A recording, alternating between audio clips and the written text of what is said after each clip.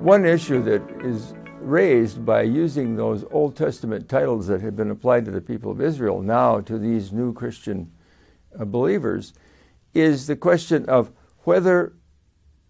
of what happens to the people of Israel in this. Has it all been transferred to these new followers of Christ? And the epistle doesn't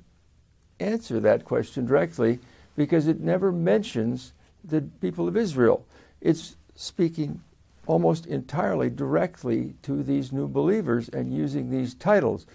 But I think by implication, when they are made heirs of all of the promises, even though they don't even maybe know what all those promises were at this point, that they are joined in some way with the people of Israel and have become, as, the, as uh, Paul often writes, uh, uh, adopted members of this community. Uh, the, the, baptism is looked at as adoption, as sons and daughters of God. And the question is,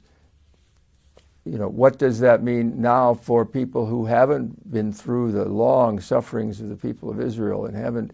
uh, been the light of the world, bearing witness for all of these de- uh, generations and centuries? And basically, if that, even if that question isn't directed, uh, answered directly,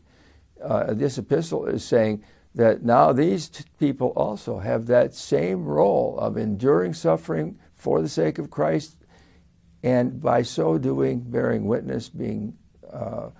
uh, holy people uh, in the midst of an unholy uh, society, and testifying, therefore, to the God that they love and serve. Uh, it doesn't solve the question, but it does at least not license uh, any kind of argument for the rejection of the people of Israel because these new people are called by those same titles.